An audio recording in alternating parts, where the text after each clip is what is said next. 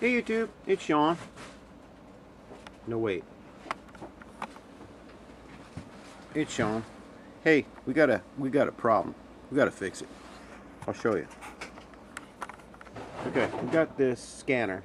It's a uh, Snap-on scanner, and I got this. It's it's a case, and I've had this for a long, long years, and it works epic well, and it works on everything. Right up to date. It'll work on newer cars too. But we have a problem. This is the problem. The lid. The hinge broke. Wah, wah, wah. Okay, so we got to fix that. And I have a lot of cartridges and epic cables of about everything, reference manuals, up the wazoo. There ain't nothing I ain't be, been able to diagnose on it with it anyway. Um, this is the problem. It's just, just kind of broke. You know, I've got three of these cases um, over the years, and you know what? Every one of them did this. So, I'm going to fix it with some hinges.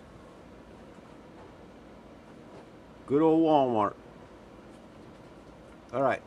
And, uh, yeah, it's a great scanner. Let me show you what we got.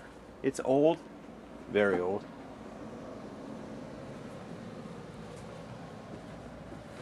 But it's an MT2500. But I'll tell you what, with the right cables, you could still make that work like a new one with the right cable.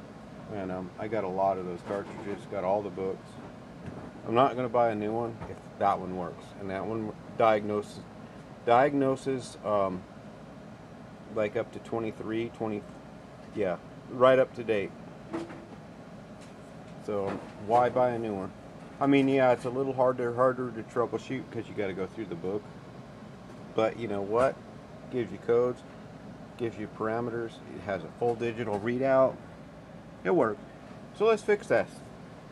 I'll be right back. Show you what we got. Alright, folks. Alright, we got um, the hinges on it.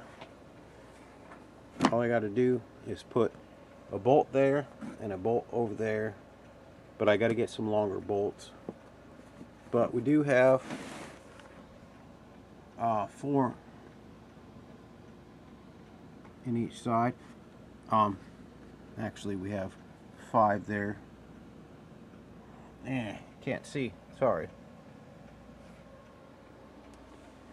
Anywho, the only thing, and we got them all tightened up. The only thing we got to do is take the Dremel tool and cut the um, bolts off. We got this little, uh, where is it?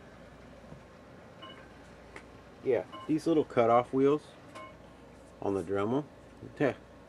Can't beat them, especially if you buy the reinforced fiber reinforced ones. You bet, they work great. All right, so that's what we're gonna do.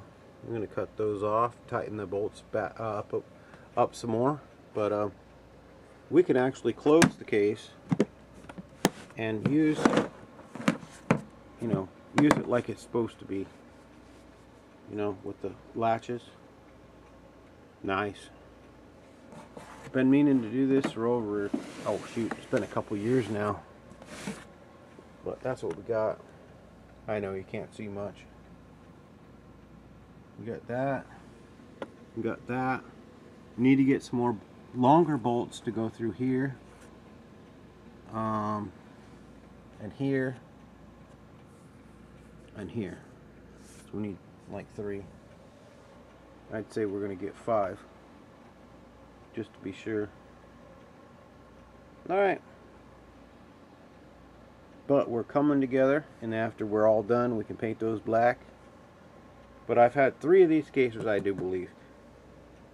Um, I know I have two. I think I have a third one. And every one of these snap-on scanner cases has the same issue with the hinge. They all break. So, I figured um, I do the redneck fix on it and it'll be great. Alright, take care of y'all. Love you. Remember, thumbs up. Bye-bye.